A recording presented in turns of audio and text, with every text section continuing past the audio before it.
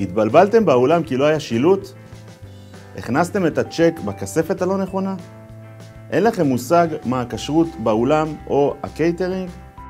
היום נדבר על נושא השילוט באירוע. היום יש ווייז שמוביל אותנו בקלות ובפשטות לכל מקום. אך מה קורה ברגע שמגיעים לאולם?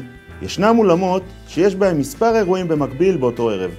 קורה לפעמים שאנשים מתבלבלים ומגיעים לאולם הלא נכון, מכניסים את הצ'ק בכספת הלא נכונה. כי לא היה שילוט בכניסה לאולם ועל גבי הכספת. על מנת למנוע את עוגמת הנפש מהאורחים, חשוב מאוד שיש שילוט ברור ומסודר בחנייה של האולם, במעלית ובכניסות לאולם.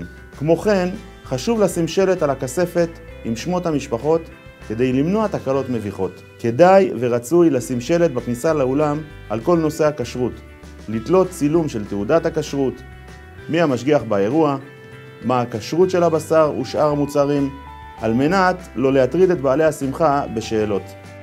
נבו, איתך באירוע שלך, אירוע מושלם בראש שקט.